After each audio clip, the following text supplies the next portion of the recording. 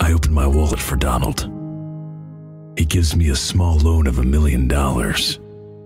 It hurts so much, but I do it for Donald. I feel my wallet tearing as he puts the money in. He roars a mighty roar as he fills up my wallet.